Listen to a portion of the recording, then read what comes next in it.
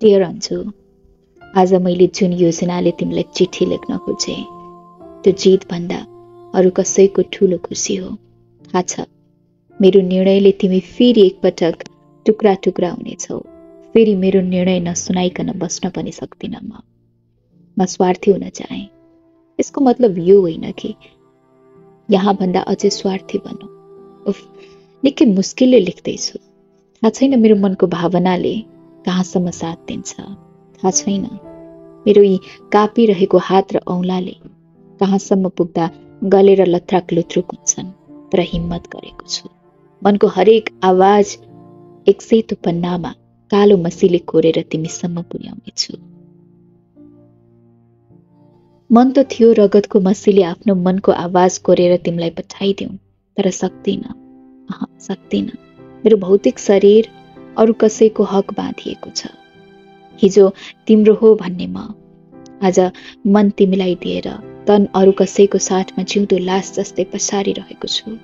विवाह गरेको तिन महिना झन्डै बितेको छ।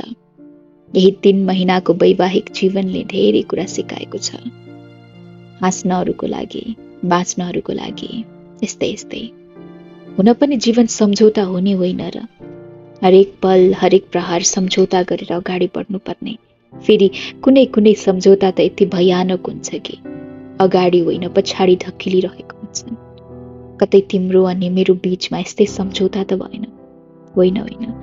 तिमीसँग तिमीसँग होइन। सम्झौता त मेरो अरू कसैसँग भयो जसले अगाडि बढाउन खोजेको हरेक पाइला पछाडि ढकेलिदिन खोज्छ। म अब मेरो निम्ति बाँच्न चाहन्छु। स्वतन्त्र भएर बाँच्न चाहन्छु। कठोरतापूर्वक निर्णय गरेर फेरि आफै हारिदिन्छु। आफ्नो लागि बाँच्ने तिर्खाले म कहरिरहेको छु तर सक्दिनँ। हुँदैन। फेरि कसैको जिन्दगी बिगार्ने अधिकार पनि त छैन मलाई। उसो त म के गरौँ? उसैको निम्ति बाँचौँ?